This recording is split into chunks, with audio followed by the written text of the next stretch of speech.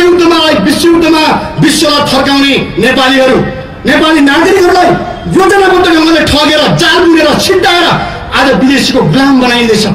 नेपालका युवा युवतीहरूलाई गुलाम बनाएर विदेशमा बेचिँदैछ कमिसन खाइँदैछ कथित रिमिट्यान्स कथित रिमिट्यान्सको नाममा नेपालीहरूलाई बाहन्न देशमा बयानब्बे देशमा बेचिँदैछ। जो हामी हेर्दैछौँ हामीलाई त्यो इच्छा थिएन।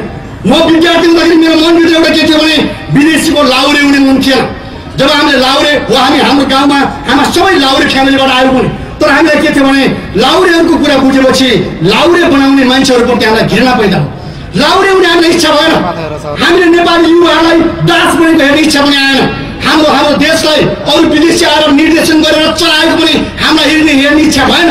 विदेशीहरूले बनाइदिएका नेताद्वारा शासित हुने पनि हामीलाई इच्छा भएन। हामीले चाह्यौँ त्यसको लागि एकचोटि हाम्रो खुन बगाएर खुनको आवरबाट नेपाललाई मुक्त गर्न सकिन्छ भने लागौँ हामी जनयुद्धमा हाम पाल्यौँ हामी कलेज छोडेर निशर्त बाबुराम भट्टराई डक्टर पढेर आइसकेका थिए। उनले भन्थे डक्टर पढेर आइसके उनले के नारा दिन्थे भने बुर्सा डिग्री बेकार रहेछ मैले डाक्टर पढेर केही पनि आउनु छ भने। ठिक होला त डाक्टर बा मान्छे बुद्धि होला भनेर लाग्यौँ हामी। होइन यो ठिकै होला। हामी छोड्यौँ कलेज छोडेर हामी हाम फाल्यौँ। हाम्रा हजारौँ हजार युवा युवतीहरू हामी युद्धमा हाम फाल्यौँ आदरणीय जनसमुदायहरू। हाम्रो मनभित्र त्यो कुरा थियो। बाबुरामको मनमा के थियो? पछि कुरा आउँछ प्रचण्डको मनमा के रहेछ? अहिले थाहा देखिँदैछ। तर हाम्रो मनमा शुद्ध के थियो भने नेपाल देशलाई स्वाधीन बनाउने हामीसँग एउटा चाहभित्र थियो नेपालका युवाहरूलाई यो शताब्दीको एउटा असल युवा बनाएर उभ्याउने हामीभित्र चाहना थियो।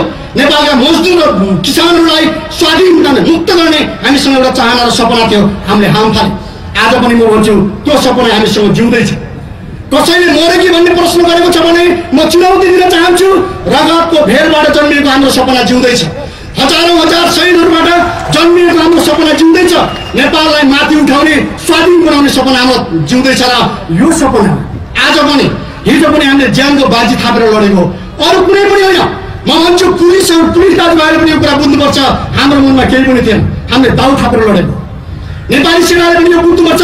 हाम्रो मनमा नेपाललाई मुक्त बनाउने अर्को कुनै पनि स्वार्थ थिएन हामीले ज्यानको बाजी थापेर लडेको। पत्रकार बन्धुहरू पनि यहाँ हुनुहुन्छ। तपाईँहरू हाम्रो पाहाड पाहाडमा पनि पुग्नुभयो रोडबाट कुनै कुनासम्म पनि पुग्नुभयो हामी कसरी बसेका थियौँ तपाईँलाई राम्रोसँग थाहा छ। हामी सुकुलमा सुतेर लडेका हौँ। हामी गुन्द्रीमा सुतेर लडेका हौँ। हामीलाई हेर्नुहोस् ढिँडो खाएर लडेका हौँ। होइन हाम्रा किसानहरू काठमा बसेर हामी लडेका हौँ। आज पनि हामीसँग त्यो सपना जिउँदैछ। मान्छेहरूले डिनर खाएर जनतालाई बिर्से। मान्छेहरू काठमाडौँ आएर फाइभ स्टार होटलमा स्विटमा बसेर बिग्रिए तर हामीसँग त्यो सपना जिउँदैछ म तपाईँलाई भन्छु आज पनि त्यो सपना हामीसँग छ मैले रोलमा गएर थपाङमा अहिले पनि भनेको छु सपनाको हत्या गर्ने मान्छेहरूबाट कहिले पनि हामी चाहिँ विश्वास गर्नु हुँदैन जो मान्छेले आफ्नै सपना बचाउन सकेन त्यसले जनताको बारेमा कहिले पनि गर्दैन यो कुरा ठोकेर भन्न सकिन्छ जुन मान्छेहरू जुन मान्छेहरू रगतको मूल्यलाई बुझ्दैनन् ती मान्छेहरूले जनता र राष्ट्रको बारेमा कहिले पनि सोध्न सक्दैनन् यो ठोकेर भन्न सकिन्छ तर म भन्छु हाम्रो पार्टी हाम्रो लिडरसिपको टिम हाम्रो केन्द्रीय समिति हाम्रा पार्टीका नेता र कार्यकर्ताहरू हामी प्रतिबद्ध छौँ। यदि आजै हामीलाई दमन गरिन्छ त्यो सामना गर्न हामी आजै तयार। यदि नेपाली जनताले आदरणीय समुदाय युवा साथीहरू हामीले बुझ्नुपर्छ यदि हामीलाई चुनावको बाहनामा दमन गर्न खोजिन्छ ठिक छ हामी मरौँ बाँचौँ हामीलाई मतलब छैन तर हामी बोल्नेछौँ। हामी खुल्ला मञ्चबाट बोल्छौँ यो कुरा। हामी जनताको बिचबाट बोल्छौँ यो कुरा हामी गाउँबाट बोल्छौँ असम चौकबाट पनि हामी यो कुरा बोल्छौँ काठमाडौँका सडकबाट बोल्छौँ। नेपालको मुक्ति नेपाली जनताको मुक्ति नेपाल देशको स्वाधीनता परिवर्तन बिना सम्भव छैन। दलाल पुँजीवादी व्यवस्थाद्वारा सम्भव छैन। नेपाललाई परिवर्तन गर्ने हो र साँच्चै नेपाली जनतालाई नेपाली जस्तो देखाउने हो भने खुकुरीको भरमा एउटा कथा छ मलाई। एकजना बुद्धिजीवी साथीले दिनुभएको थियो। छोटो कथा छ। एकजना ब्रिटिसले एउटा एउटा गोर्खाज भन्ने एउटा किताब लेखेको छ। कर्नेलले मोटोको किताब। त्योभित्र एउटा के लेखेको छ भने रमाइलो एउटा सानो कहानी छ। खुकुरीसँग लड्न आउने गोर्खाको कमान्डरलाई समातेछ कि एउटा सिपाही मोटो गाडो सिपाहीलाई ब्रिटिसले समातेर घाइते छ लडाइँमा त ब्रिटिसहरूले जिते तर घाइतेलाई समातेर ब्यारेकमा लगेपछि उपचार गरेर कि? उपचार गरेर सबै ठ्याक्टुको पाए सन्चो भयो समय खेल्दै खेले पनि हिँडे पनि। अनि ब्रिटिस कमान्डरले के सोधेछ भने त हामीले हामीले छोड्यौँ भने त कहाँ जान्छस् भनेर सोधेछ कि? अनि त्यो नेपालीले के भन्यो भने म सन्चो भएर फेरि मेरो देशमा जान्छु। सेनामा भर्ती तिमीसँग लड्न आउँछ भन्छ। यो भावनाको कुरा पनि भन्यो। एउटा नेपाली जोसँग आधुनिक बन्धुत्व छैन। उसले जवाब के दिएछ भने म सन्चो भए घाइतेबाट फर्केँ भने तिमीहरूले छोड्यौ भने नेपाली सेनामा भर्ती हुन्छ र फेरि तिमीसँग लड्न आउँछ भन्छ। हामी नेपाली हाम्रो पुर्खा हाम्रो देश आफ्नो स्वाधीनतालाई मुटुमा राखेर लड्ने मान्छे हामी। हामी कौडीको भावमा बेचिने मान्छे हो। हामी आज विदेशी गुलाम बन्ने मान्छे हो। हाम्रा दिदीबहिनीहरूलाई हरेक तपाईँको कोठीमा बेचेर हामी भिख मागेर मात्र पर्ने मान्छे हो।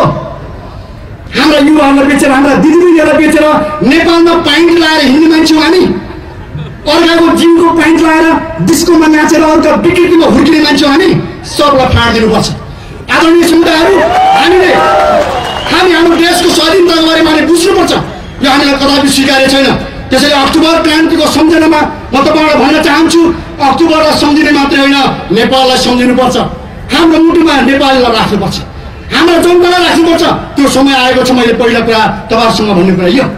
दोस्रो कुरा हेर्नुहोस् समाजवाद ढलेपछि रुसमा गडबडी भयो अफगानिस्तानमा बमहरू हानिन्छ विदेशीले पुग्छ निर्दोष दुई सय बालिका मरे। निर्दोष जनता दुई सय मरे तिन सय मरे दैनिक हस्पिटलमा हान्यो। अमेरिकाले के भन्छ? गल्ती भएछ म सच्याउँदा यतिले पुग्छ। अर्कोले हान्यो भने अमेरिका या पुँजीवादीहरूले के भन्छन् भने आतङ्ककारी भने पुरै तपाईँको चाहिँ खोज्दै हिँड्छ तर उनीहरूले मदर बम के आकाशमा हेर्दा पनि डर लाग्दो यत्रो घर जत्रो बम खसालिदिनु भने न खसाल्न पाइन्छ त्यो। अर्का जमिनमा गएर अर्का देशमा अर्का गाउँमा खसाल्न पाइन्छ।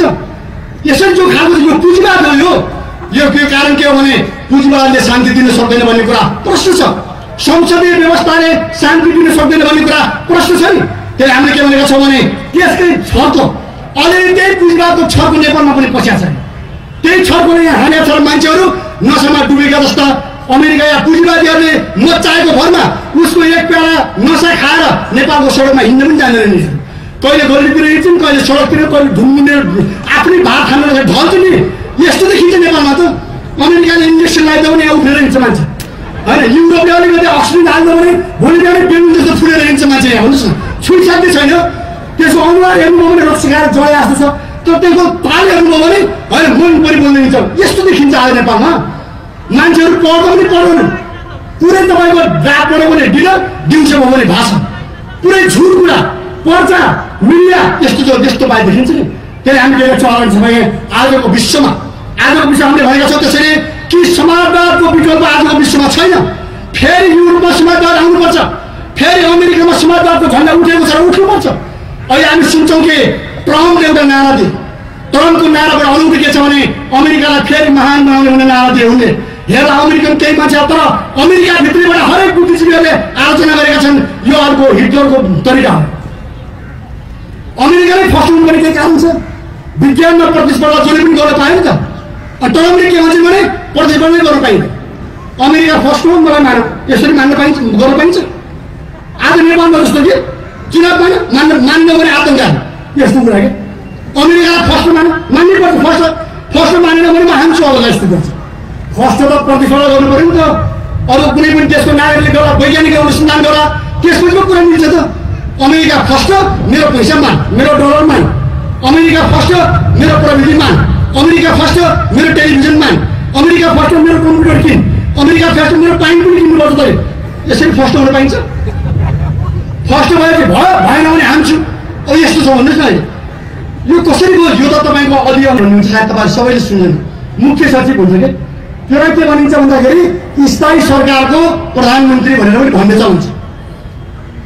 प्लानिङ गर्ने योजना बनाउने देशको बारेमा खाका खिच्ने लगभग सबै माइनेट बनाउने मन्त्री मन्त्री परिषदको चाहिँ सारा कामकाज गर्ने उसितमा हुन्छ। तर हाम्रै देशमा सायद अर्को कुनै अफिसको अफिसर हुनुको लागि त्यो पनि सहायक अफिसर हुनुको लागि मुख्य सचिव भए मुख्य सचिव नै देशबाट भागेको यहाँको मन्त्री परिषदलाई थाहा छैन। यहाँको राज्यलाई थाहा छैन। प्रधानमन्त्री पनि के भन्छ भने उता गएर जागिर खान थालेको कहिले गयो जस्तो प्रधानमन्त्री छ। आफ्नो सचिव कहाँ छ भने थाहा छैन कि? फेरि जागिरी छोडेर पनि गयो हुन्छ नि यो जागिरी यति राखेर जान्छ कि यहाँ भन्नु पनि छैन यस्तो लज्जाको विषय राज्य छ यहाँ एउटा सचिव कस्तो छ भने बाइस अरब घोटाला गऱ्यो भन्दाखेरि मजाले मैले गरेका छैन मैले मात्रै कहाँ गरेँ भन्ने भयो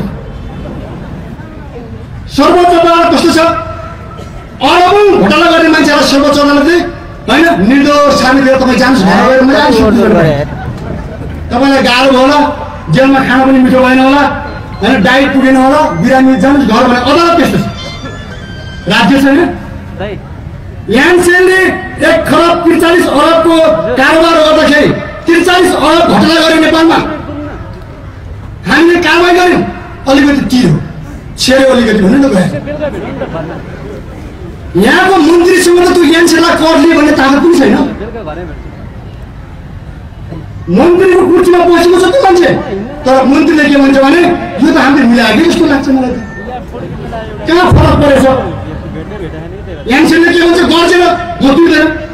हेर्नुहोस् है यान्सेनले ठाट्टारा बनाएर म तिर्दै तिर्दैन कसले के गर्छ? मन्त्रीले भन्छ तिरा जस्तो मान्छे मैले तर मिलेन छ भन्छ। यस्तो देश तपाईँ कल्पना गर्न सक्नुहुन्छ एकछिन।